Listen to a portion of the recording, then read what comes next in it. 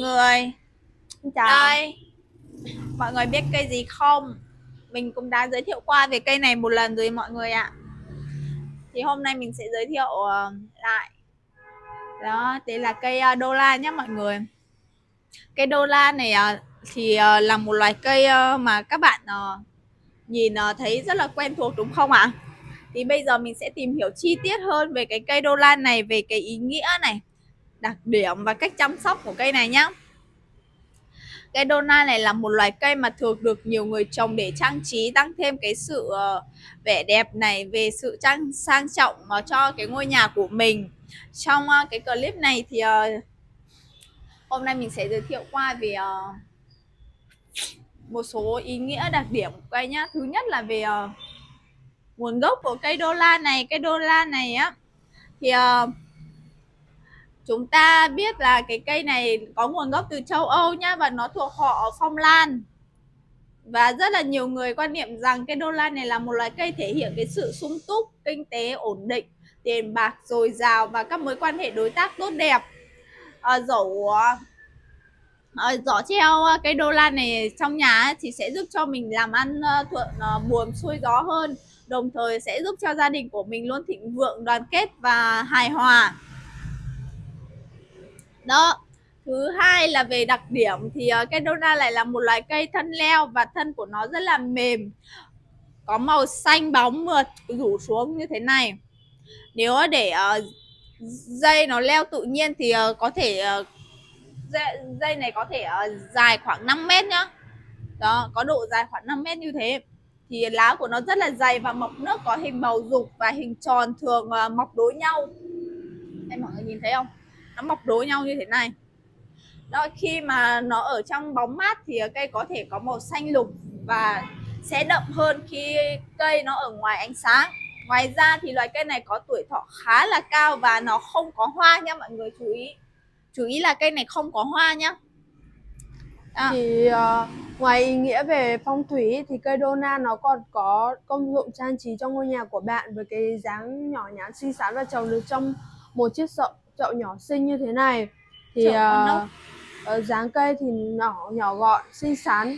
Thì cây đô la thường được trồng ở các chậu phù hợp uh, ngộ nghĩnh như vỏ chai vỏ sò gáo dừa.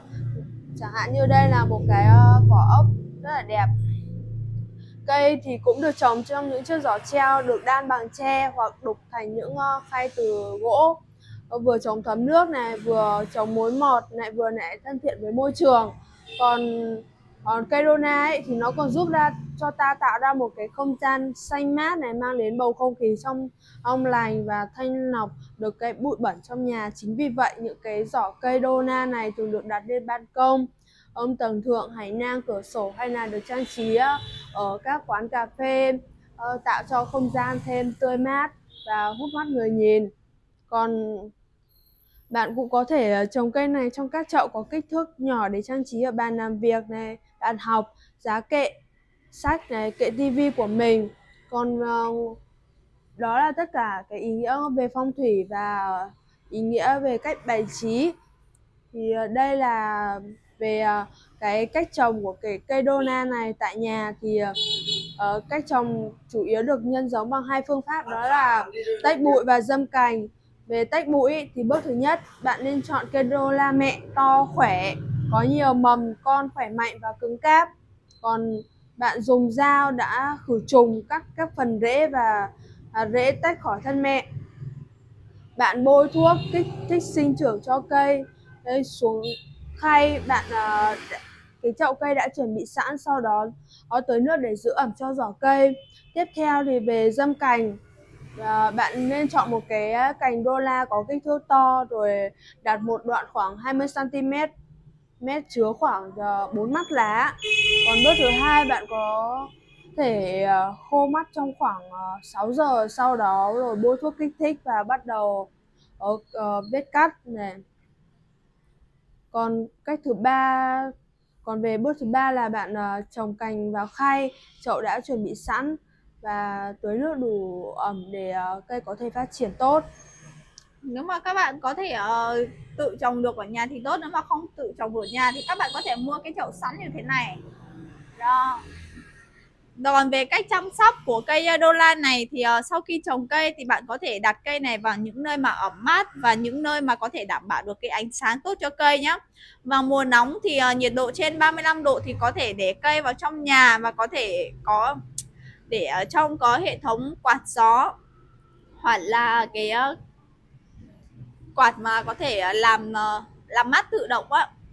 Bạn có thể tưới nước cho cây khi phần trên khi phần đất trên trên chậu của cây nó khô, không nên tưới quá nhiều nước vì cái cây đô la này thường mọng nước và khả năng giữ nước của nó khá là lâu và rất là tốt khi ờ, mà treo giỏ cây thì ờ, ở nơi gần điều hòa thì bạn không nên tưới nước trực tiếp lên lá nhá. Lưu ý khi trồng và chăm sóc cây lô la này là nếu bạn đặt ở nơi mà có thiếu ánh sáng ấy, mỗi ngày thì bạn cần mang ờ, cây ra ánh nắng buổi sáng hoặc là buổi chiều, đó, để cây có thể quang hợp tốt hơn. Sau khi mà mình để cây ở ngoài mà cây có dấu hiệu là có thể bị vàng lá hay là nó bị khô thì chúng ta phải uh, tưới thêm nước hoặc là bón bột uh, đỗ tương nghiền nhỏ ra cho cây đó sau đó vùi đất lên và tưới nước bạn cũng có thể tưới thêm uh, thuốc điều hòa sinh trưởng cho cây. Tuy nhiên thì mỗi năm chỉ cần tưới ít nhất là 3 lần. À nhiều nhất là 3 lần nhé. Mà nếu cảm thấy là thấy lá của nó bị vàng và có nốt hay là có đốm nhỏ thì bạn phải cắt tỉa cái lá này từ gốc đi để có thể uh, cây sẽ thoáng hơn và ngăn ngừa sâu bệnh tốt hơn nhé. Thì đấy cũng là một số thông tin uh, mà Cây đời xin chia sẻ với mọi người thì ờ, cũng mong là thì mấy cái thông tin mà bọn mình chia sẻ thì sẽ giúp cho các bạn tìm hiểu và biết thêm nhiều về cách chăm sóc, cách trồng. Đó. Thì uh, các bạn muốn mua thì các bạn có thể liên hệ số hotline mà mình để trên tường nhé mọi người, mình để, để trên góc trái màn hình á. Thì mọi người có thể uh, liên hệ số hotline hoặc là chúng ta có thể uh, qua trực tiếp cây uh, showroom cây đời. Ngay uh, 39 Trần Bình nhá đối diện với phường Mai Dịch á. Xin chào mọi người. Thì uh, bọn mình cũng chia sẻ xong rồi. Bye bye mọi người.